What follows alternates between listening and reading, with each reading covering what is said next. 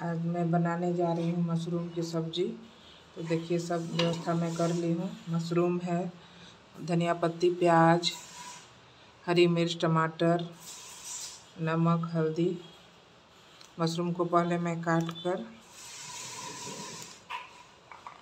पानी में उबाल लूँगी।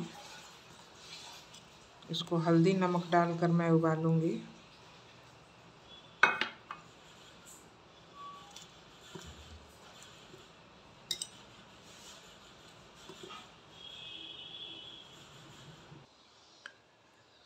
मैं पाँच मिनट के लिए मशरूम को उबाल लूँगी।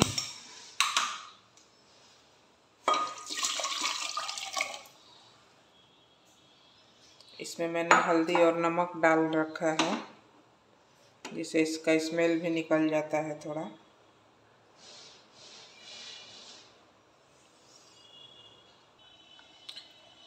मशरूम उबल गया है एकदम। अब इसको मैं छान लूँगी। गैस बंद करके।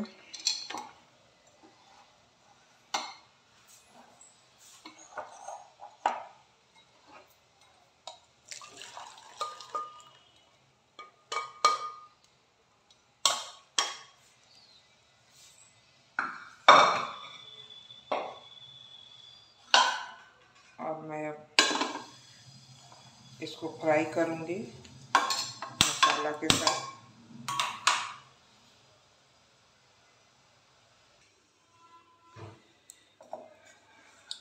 पैन गरम हो गया है। इसमें मैं थोड़ी सी तेल डालूँगी क्योंकि मशरूम मेरा 200 ग्राम ही है। और ज़्यादा तेल मशरूम में अच्छा भी नहीं लगता है।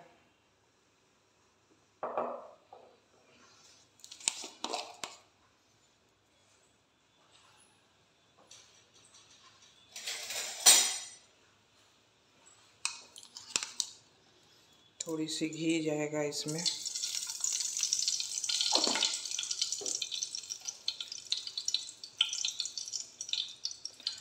और तड़का के लिए इसमें मैं जीरा ले ली हूँ, दो लाल मिर्च तोड़कर और दो तेज़पत्ता।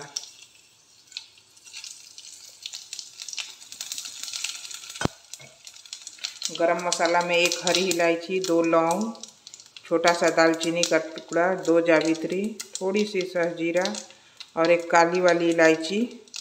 आधा इलायची है, क्योंकि तो गरम मसाला भी मशरूम में ज़्यादा नहीं बर्दाश्त होता है। इसको मैं भी डाल दूँगी तड़के में। तड़का चटक गया है मेरा। एक हरी मिर्च डाल दूँगी। दो प्याज मैंने टुकड़ों में काट रखा है। इसको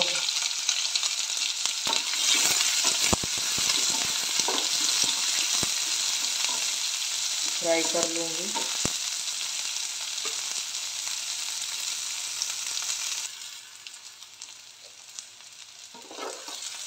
प्याज करीब भुन चुका है, इसे ज़्यादा लाल नहीं करना है।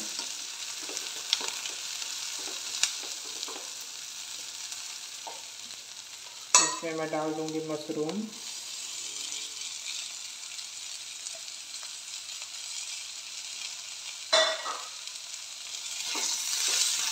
इसको भी दो मिनट करीब हम फ्राई करेंगे प्याज के साथ।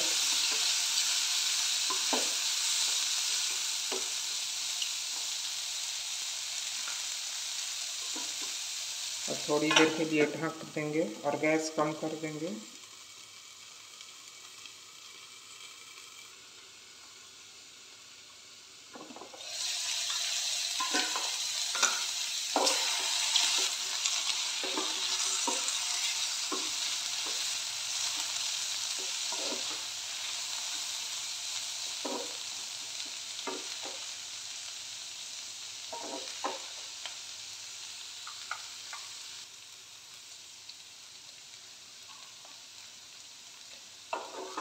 मशरूम भी फ्राई हो गया है प्याज के साथ। प्याज के साथ फ्राई करने में इसका फ्लेवर आ जाता है बहुत अच्छा प्याज का फ्लेवर मशरूम में। अब मैं इसमें डालूँगी थोड़ी हल्दी, हाफ़ स्पून से छोटा वाला से। थोड़ी सी ही लाल मिर्च का पाउडर और एक चम्मच मिक्स, मेरा सब मसाला जो मैं खुद बना कर रखती हूँ, धनिया, जीरा, काली मिर्च, सबको।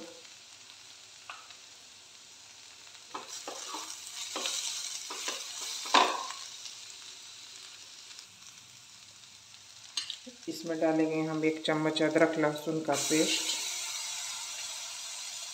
और थोड़ा सा पानी डालकर हम सूखे मसालों को गीला कर लेंगे। अच्छी तरह से भून जाएँगे मसाले, नहीं तो ऐसे जल जाते हैं।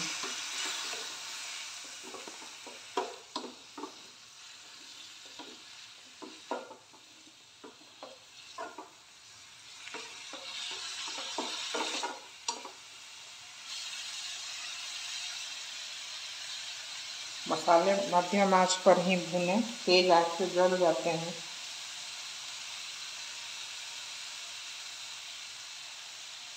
ढक देते हैं थोड़ी देर के लिए।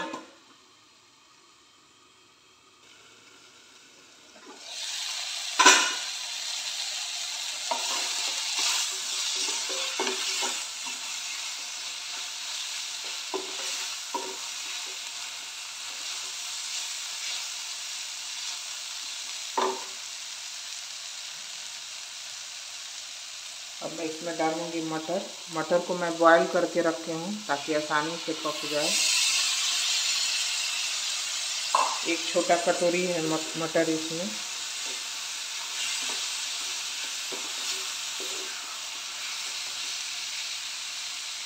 साथ में ही मैं डाल दूँगी टमाटर।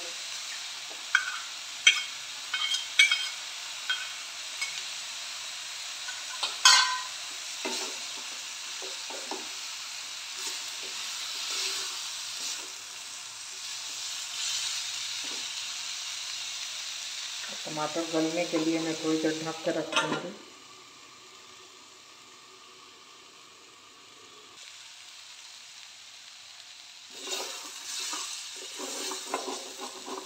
मसाले भुन चुके हैं मेरे। अब इसमें जाएगा थोड़ा सा नमक। नमक आप अपने स्वाद के अनुसार डाल सकते हैं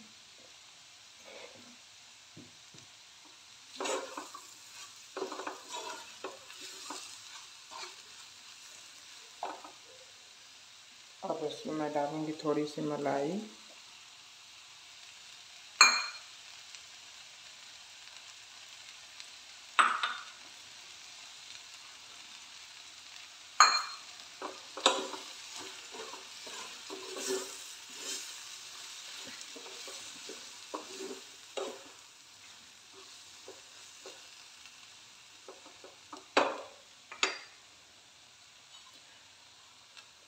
हाफ़ स्पून के करीब कसूरी मेथी है धनिया पत्ता।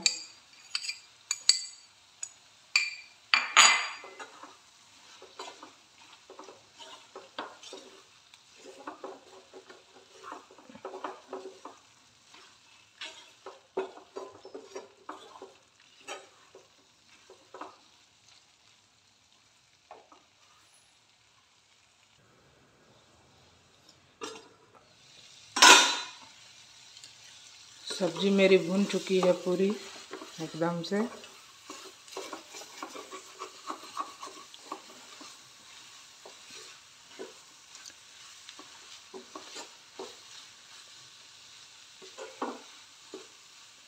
अब मैं इसमें थोड़ी सी पानी डाल दूँगी।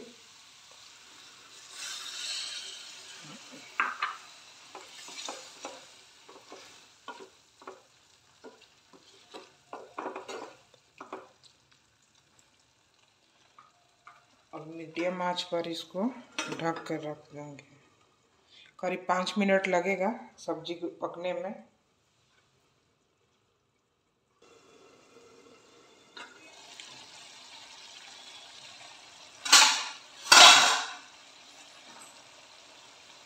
सब्ज़ी बिल्कुल पककर तैयार हो गया है। आप इसे किसी भी चीज़ के साथ खा सकते हैं।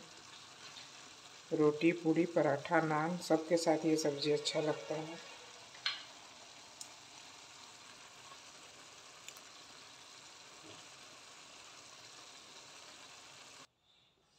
देखिए, मैं इसको प्लेट में निकालती हूँ।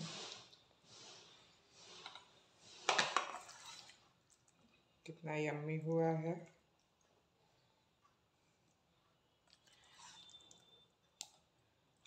अगर मेरी रेसिपी आपको पसंद आए तो प्लीज़ इसे लाइक शेयर और कमेंट ज़रूर करें। अच्छे अच्छे कमेंट करते रहें, ताकि मैं अच्छी अच्छी और रेसिपी बनाकर आप